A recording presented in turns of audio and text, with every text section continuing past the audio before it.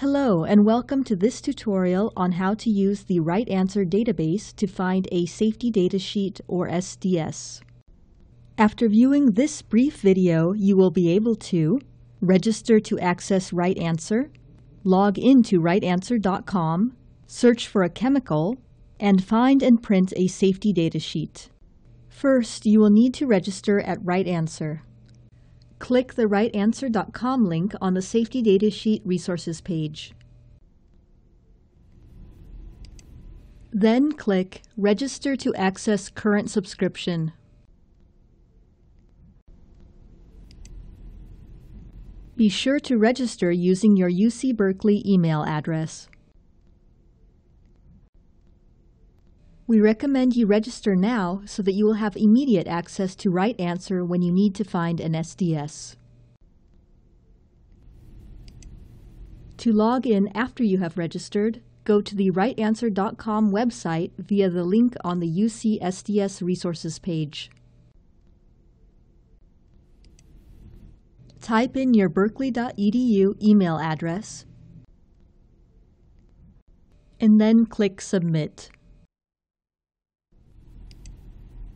To search for a chemical, type the name you are looking for in the first search field, called the Integrated Index Search. For this demonstration, we will search for phenol. Next, click Search. Select your substance from the list of search results.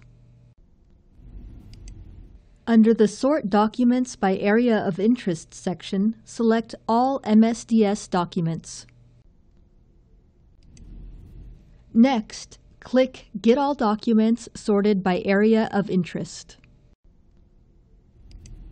Click the link under All MSDS Documents. To refine the search results, use the filter boxes at the top of the form. For instance, to search for products from a specific manufacturer, type in the company name in the Manufacturer Name box and click Submit. In this example, we will search for Sigma Aldrich. Next, click Submit. Under the Product Name column, find the name of your chemical and click the link to view the SDS.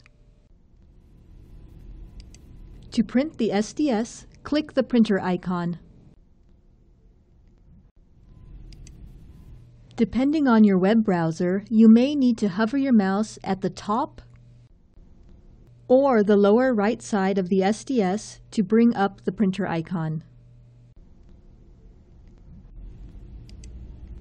If you have any questions about using RightAnswer, please contact Russ Blackmar.